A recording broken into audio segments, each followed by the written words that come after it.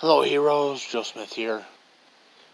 Just staying out, enjoying the nice, cool air. Really nice out right now. Got a good breeze going on. Wind's actually starting to pick up. Seeing some lightning out to the northwest. Uh, just checked radar on the phone. Got looks like some rain coming in from Kansas, uh, southwest Missouri, northeast Oklahoma. Uh, of course, Joe Smith here is in northwest corner of Arkansas, or Walmartville area, uh, just outside the uh, metro area, out in the Ozarks, or Mark Twain National Forest area. Um, been hearing a lot, been seeing a lot on the news and YouTube. A lot of dine and dash. You know, when you go to a like sit down restaurant where you like sit down and waiter comes, orders, takes your order, and then when the food is cooked, the the waiter or waitress, although I guess uh, the ladies prefer just be called waiters nowadays versus waitresses.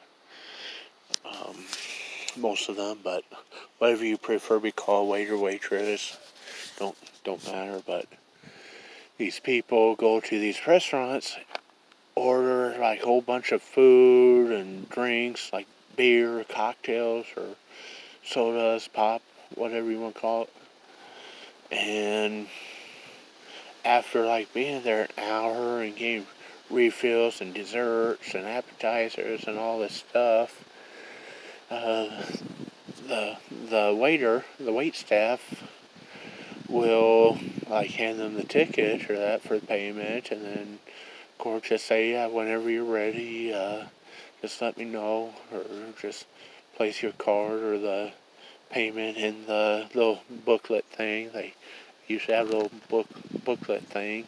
Probably be all fancy in that. Um,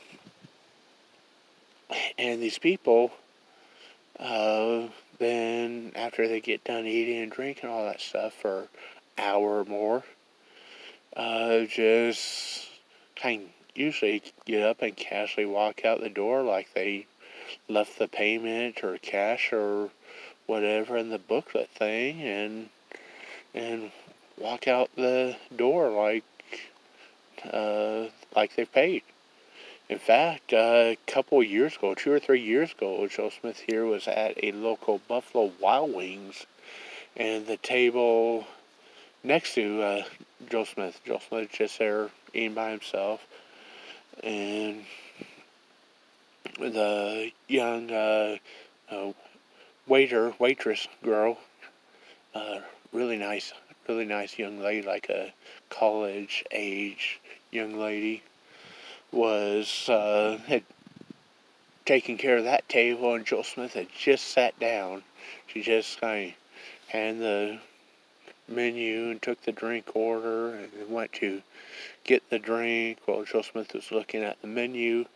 And then uh, Joe Smith kind of noticed a couple guys at the table next to him, uh, they laid some cash down on the table, like for a tip, on top of the little booklet thing, and got up and left. And Joe Smith really didn't think anything of it because she had just handed them the ticket as they were finishing their meal, and then she came over to hand Joe Smith the menu and take the, the drink order of that.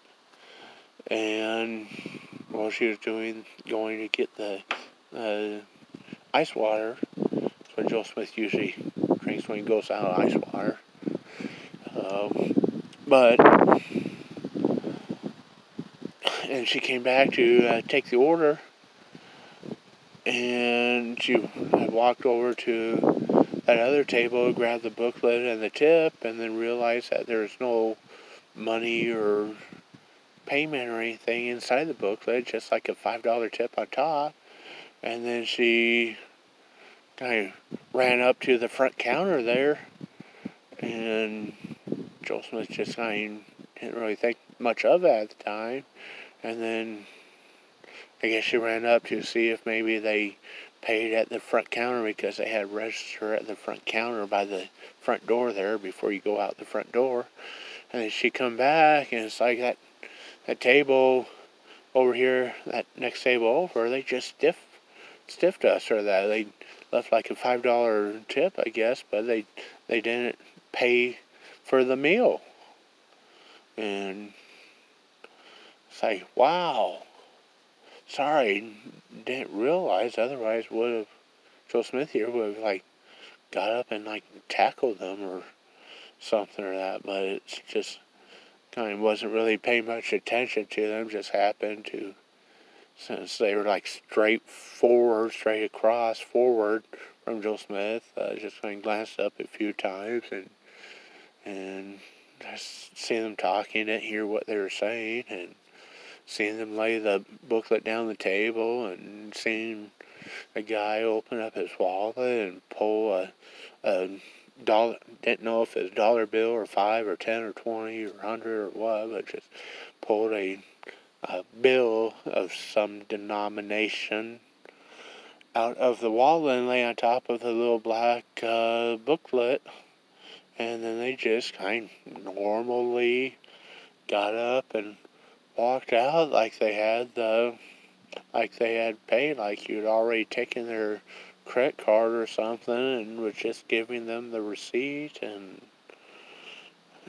and so Joe Smith kind of felt felt kind of bad for her and left her like an extra, like a, about ten dollar tip or that, just to kind of cheer her up or that. But she's like, oh, worried like she's going to get fired or something or or taking out her check and I don't know if restaurants do that or can do it or and or if it varies by state or have no idea, no clue. Never been a waiter before. But just, she was such a nice gal. I gave Joe Smith really, really friendly service, really great service. Even after after that happened, Joe Smith just kind of telling her like, God, don't let beat you up, uh, cheer up, and this and that, and and just trying to be real polite to her. And gave her a nice tip afterwards, and words of encouragement and and put a, put a good smile on her face. But this is actually dining and dashing. I guess is becoming a huge problem. Uh, haven't really heard much of it over the years, just a little bit now and then. But nowadays it's like almost constant, like daily, hearing about daily, another YouTube clip daily. Um, maybe it's always happened this frequently, but just was never reported by the news or something, or maybe with all the uh, nonstop news coverage and YouTube and internet and and anything and everything that happens nowadays, everything and anything that happens is getting put on the internet for the world to see. Don't know. Maybe that's it. But sure as heck been hearing a lot about dining and dashing. Even even uh, some restaurants are hiring armed security. Even it's getting that bad. In fact, it's gotten so bad. I just saw a video, news video clip. Um, Philadelphia, Pennsylvania uh, yes, the city of blue voters. Go figure something like this would happen in a Democrat city. That voted for Biden, but um, but that's another story. But just saw this news clip a little bit ago. Decided to finally do a video about this. Saturday night, last night is Sunday night now here or almost midnight now, Joe Smith's time. But last night, Saturday night, um, about uh, 11, 11.30, about this time last night in Philadelphia, or in Philadelphia time, so, um, some, uh, this group of diners did pull off another dine and dash. And even though, you know, some of you might say if you saw the news clip that uh, this particular group matched the description of the usual suspects. You know, there's been there's been a lot of white people dining and dashing too, so not trying to turn this into a race issue. Probably been as many or more white people are doing it, but uh, this particular group last night um, kind of took off, walked out the restaurant or something, and guess the the young gal, the the waiter gal, or waitress gal, um, realized that they hadn't paid and followed them out the restaurant and and ran towards the car that they're getting into, and these people, men and women both, actually grabbed the the gal, the waiter gal, and and pulled her into the car. They kidnapped her. They committed felony kidnapping. This this waiter waitress gal chasing these uh, this group of men and women, um, four or five people, something like that, out of this uh, uh out of this restaurant, uh, and they like grabbed her and pulled her into the car with them. And then drove off with her in the car. Yes, this group of people committing just a dine dash, of like a misdemeanor, that most police don't even bother with now. They just tell you write off on your taxes or something.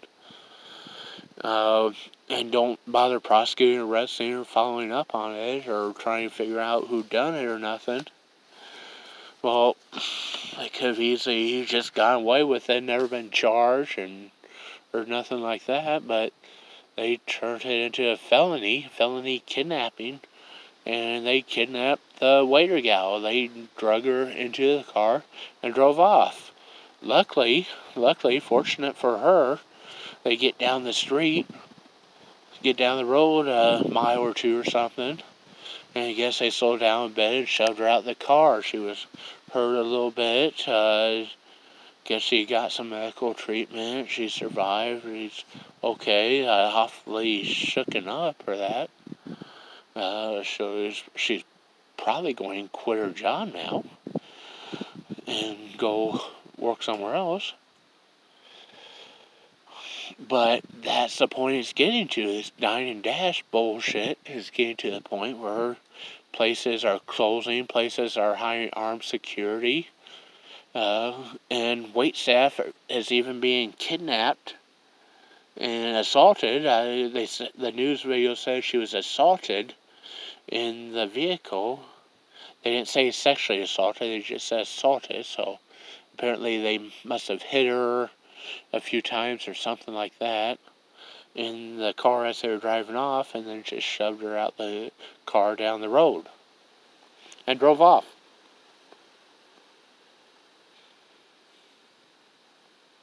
And they'll probably still not really get charged with anything. They probably won't even get charged with the felony kidnapping charge.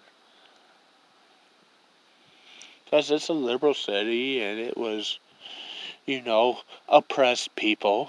So pretty sure, pray, pray sure is waiter gal just trying to oppress them further by forcing them to pay for their food.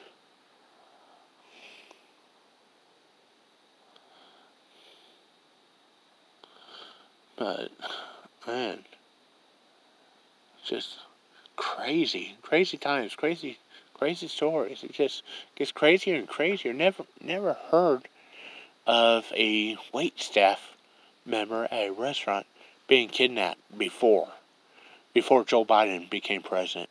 That is. You didn't hear about this when Trump was president. All you heard about when Trump was president was made up lies and stories about Russian collusion and and letting foreign people stay in his hotel or I'm pretty sure those people even paid the normal fee or something. But it's like nonstop for four years. Democrats trying to pin this Russian collusion stuff on Trump and but you never heard no other crime, and now Biden's president and Walgreens in San Francisco Bay Area are closing because they're getting robbed like 10 times a day and the police there won't do anything. Or if a police officer, there happens to be like a Republican police officer and they happen to arrest someone or a security guard. Just saw a video of Walgreens uh, in California a shoplifter loading up a garbage bag full of stuff while a security guard and other patrons stood there and videotaped it. And they ran on by, and the security guard, guard didn't do nothing. Because if he did, he probably would have got arrested and charged with assault or kidnapping or attempted murder.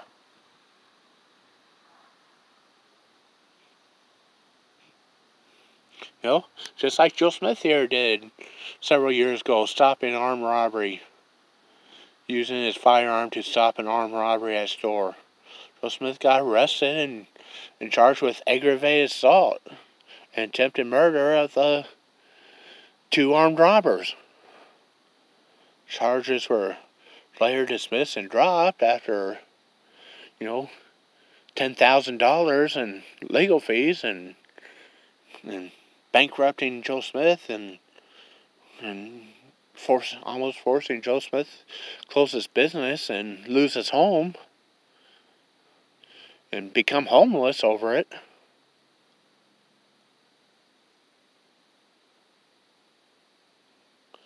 Because a first responder and medic and former military uses firearm that he's legally lawfully allowed to carry to stop an armed robbery.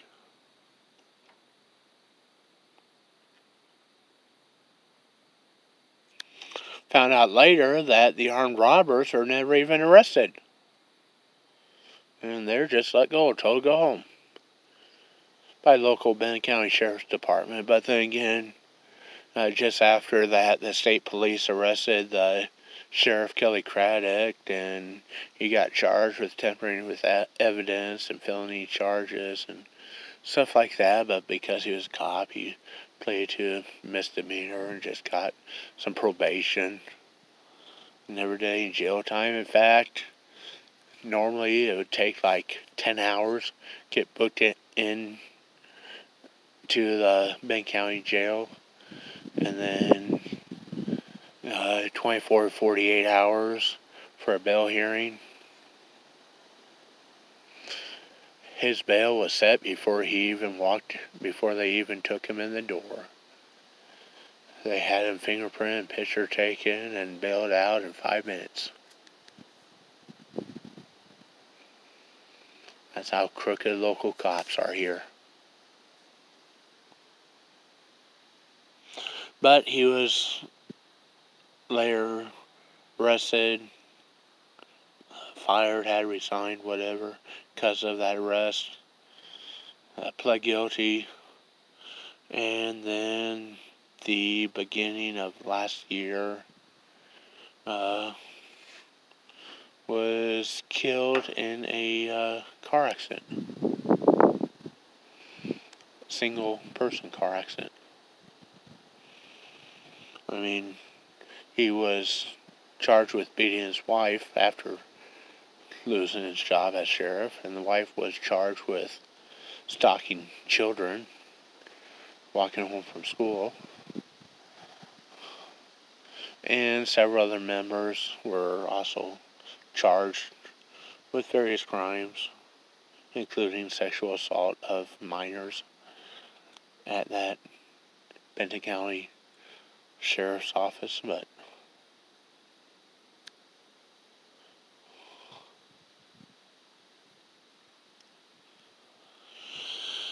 Uh, sorry for rambling on, bringing up some other stuff here, but just, you know, police want us to back them up, and yes, there are a lot of good police departments out there. Uh, Joe Smith's been sending emails to several different police departments, uh, mostly in Florida, after seeing videos on YouTube where Joe Smith thought the officers done a fantastic job, or that like the officers that were involved with that shootout with that 14 year old girl and what was 11 or 12 year old boy. Uh, Joe Smith sent uh, made a little thank you card, electronic thank you card on the computer, emailed to them. Uh, just say, say, hey, cheer up. Thank all your officers done a wonderful job. I know it sucks had to be in that situation. Uh, Joe Smith's praying for all the officers involved here. Uh, never heard nothing back from them, but a couple other uh, sheriff's departments uh, in Florida or elsewhere that Joe Smith sent email letters to uh, saying that just happened to see this particular video on YouTube, sent a clip of the video on YouTube to them so they knew what Joe Smith was talking about. Said, wow, you're, it looks like you got some really great officers. They're really, really nice officers. Really great, fantastic. Uh, it's like uh, one of the videos, uh, they saved some kids, some children that were being like abused and neglected and locked up in their rooms uh, with like dirty diapers and and no food and not being bathed at all. And they were like screaming out the windows for the neighbors to save them. And the neighbors called the police and the the uh, sheriff's department ended up having to break the door down in the middle of the night because uh, the dad and the mom refused to open the door and let the deputies come in. So uh, so Smith seen that and and sent a really nice letter to the looked up that sheriff's department website and they listed an email like a direct email for the sheriff sent an email directly to the sheriff and he responded back. This uh, county in Florida forget the name of the county or the name of the sheriff but he's been mentioned in some of these several other YouTube videos for that here recently and and videos with uh, Governor Ron DeSantis for that as well. So, but he uh, responded back with a really, really nice thank you letter back to Joe Smith here. And he he really appreciated the letter. Said thanks for taking the time to write your kind words, something like that. And then he said he personally commended each officer or deputy involved, even listed the deputy's names or their last name, same way as deputy so and so, deputy so and so, deputy so and so that were involved with that incident. And he said he uh, forwarded a copy of Joe Smith's letter to each deputy and then uh, placed a copy of Joe Smith's email in each deputy's permanent file, even. And said that it was really nice to get like positive feedback from someone, even if they're in another state, just saying that their deputies are doing a wonderful job. So that's really cool. There are like some really some really great officers out there. And I think they're getting some better ones around here now too. I think they kind of got rid of all the crappy ones and they got some better ones or getting some better ones around here now because I haven't been hearing uh, anything bad in local news from the Benton County Sheriff's Department now the last couple years. Uh, the new sheriff in town kind of cleaned house. Well, thanks for listening. Sorry this went on for so long. Kind of turn into a bunch of other topics or whatever. Um, everyone have a good night. Joe Smith signing out.